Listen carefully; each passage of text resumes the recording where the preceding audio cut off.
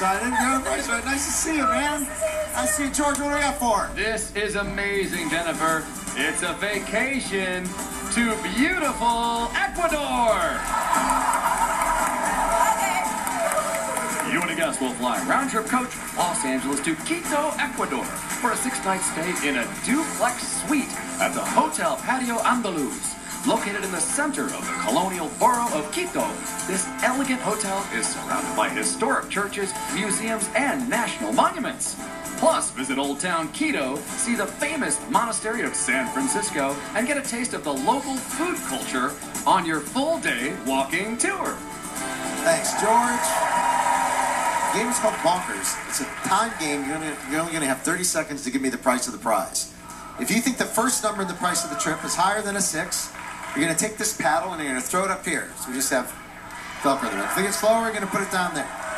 You're going to do the same thing with every one of those numbers. Throw the paddle up or down, wherever you think the if you think the actual number is higher or lower.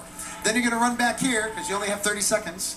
You're going to hit this button. That means you don't have it, and you have to go back and change the paddles. Okay. Then you come back here and hit it again until you hear this. Ding, ding, ding, ding, ding. You can see why it's called bonkers, right? It's Yes. a lot of running back and forth.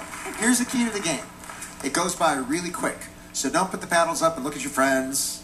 Just throw them, hit the button, throw them, hit the button, throw them, hit the buttons. So get as many chances as you can. Ready, Jennifer? One, two, three, go!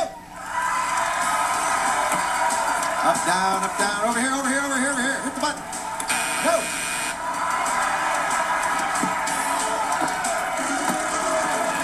She's looking for patterns.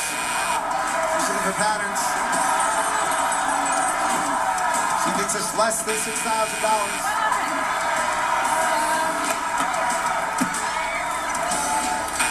Five seconds. Just get one more in here.